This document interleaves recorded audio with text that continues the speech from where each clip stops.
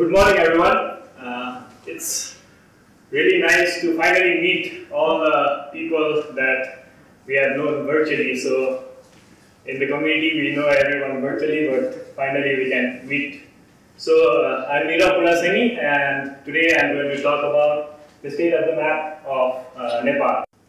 So, uh, we do not have a thousand active daily contributors. I wish we had, but uh, so the spike you see is because uh, it was uh, the screenshot that I took was during the flood. So we had a lot of uh, international mappers helping as well. So the spike in the month of August you see is uh, during the floods.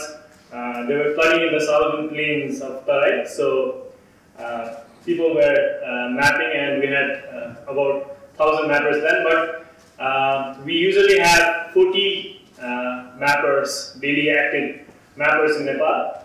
And you can see in the yearly chart, you can see that huge spike. That is uh, the spike during the Nepal earthquake, of course, uh, in 2015. So uh, these are the numbers, and what I would like to do is uh, I'd like to put faces to these numbers. So, so this is Marek. So he's one of, uh, so he's from OSM Poland, but he regularly maps uh, Nepal. We we say he's half Nepali. And uh, then we have uh, so local mappers as well. We have local mappers, the first generation of local mappers. So these these were the initial champions, but these guys are falling behind now because there are like uh, new generation of awesome mappers who are coming up and overtaking them. So I think I see a few of these faces in the crowd as well. So we are we're doing pretty good in terms of like generating interest of new generation as well. Uh, and if you see the trend of like node creation and deletion, it is similar to the activity of uh, daily contributors as well. And let me show you, so you, you guys may have already like checked out the maps of Kathmandu because you are, maybe you are using it for navigation here, but let me show you a few other places uh, in Nepal and how they have been mapped. So this is Karnali Basin. So this is a, a, huge river and there are like 70 communities that are uh, in risk uh, due to flooding. So this, uh, this place was not mapped. And in one of the projects uh, with practical action, uh, so this place is now uh, very detailedly mapped. So all the communities, all the houses, all the land use, data has been put to the map and you can see the contrast. So it is pretty amazing. So another place uh, is Pokhara. So we have an active project, uh, the secondary cities project. So we have a session about the secondary cities project as well. So if you are interested, you can go and visit there. So Pokhara has been pretty detailed map and the interesting thing about Pokhara is we are also partnering with the local government in Pokhara and we are also, uh, uh we have mapped all the schools, all the hospitals, and all the financial institutions in Pokhara. So, and another is, uh, so I talked about the flooding in uh, the southern Tarai, and this is one of the places, Inarwa, uh, that was, this was the condition there of map before the flooding. So, and after, uh, after the flooding, the people started contributing, and this is what they produced.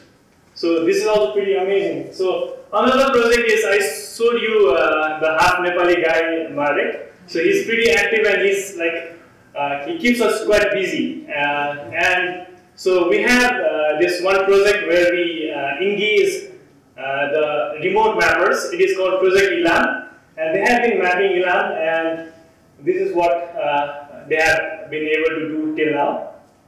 So talking about like who are working uh, in OSM in Nepal. So of course, Kathmandu Living Labs is uh, the uh, major uh, institution working in Kathmandu uh, in Nepal.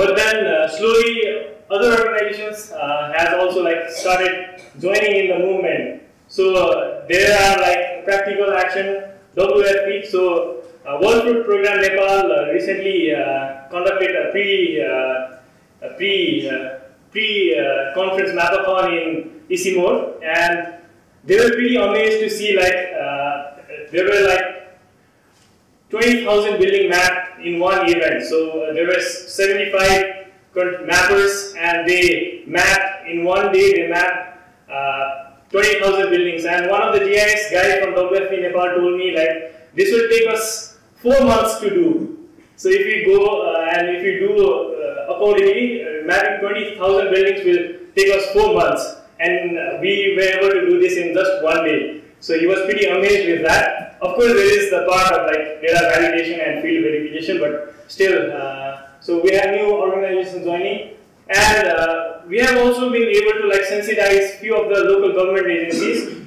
So uh, there are municipalities like Nilkantha, Pokhara, and Budhanilkantha, and they have been uh, starting to use OpenStreetMap in their work. Uh, there are youth groups like uh, uh, GESAN, Geomatics Engineering Society of Nepal, and there is a mapping chapter, youth mapping chapter in the Institute of Crisis Management. They are also pretty active now and uh, working. And there are, of course, university and uh, colleges are also working in OpenStreetMap in Nepal. So major events and activities. So we conduct a lot of events. Uh, so it would it won't be like possible for me to cover all the events, but I'll just give you a highlight of like the major activities that happened in the previous year.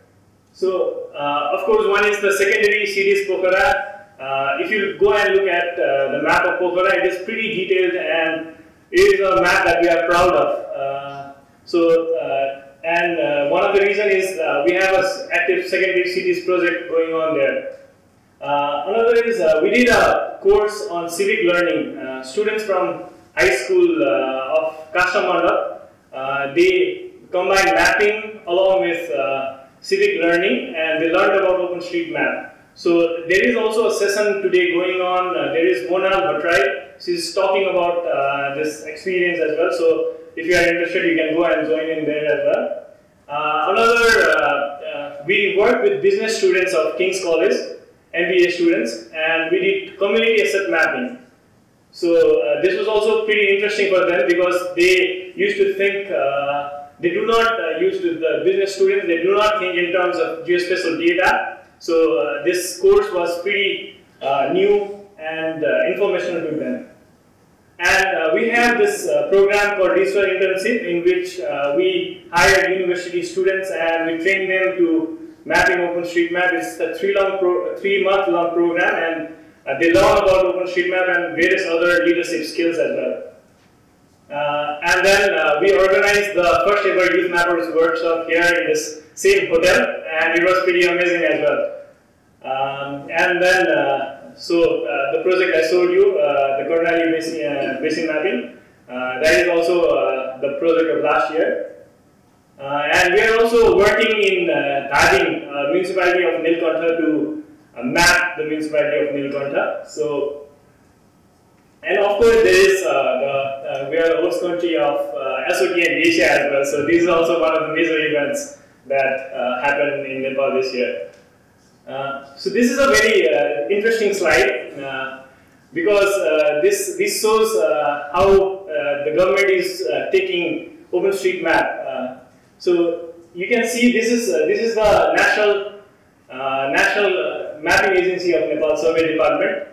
And what they have done is they have put a slider image. This is not an interactive map. They have put a slider image uh, in their site. So what I think as a mapper is that government uh, now realizes that uh, there is a value, there is a utility in OpenStreetMap, but they are yet in confusion to whether to invest or whether not to invest uh, their efforts into this map. So they are in this thinking phase and then uh, maybe we'll soon uh, be able to like prompt action from them as well.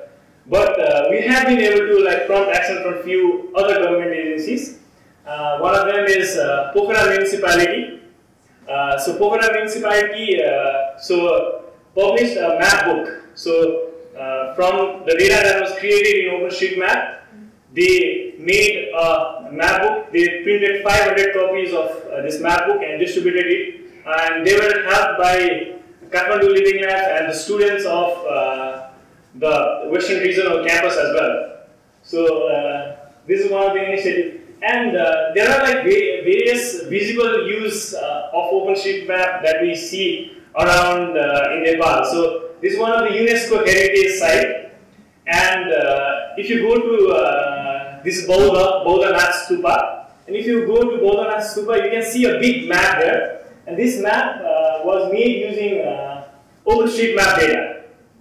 So there are similar kind of maps like in Pokhara municipality, if you go to Pokhara municipality office, you see like uh, outside of the Pokhara municipality office, you see a big printed map that uses OpenStreetMap data. So there are a lot of feasible use of OpenStreetMap data and what that does is uh, that inspires uh, local mappers.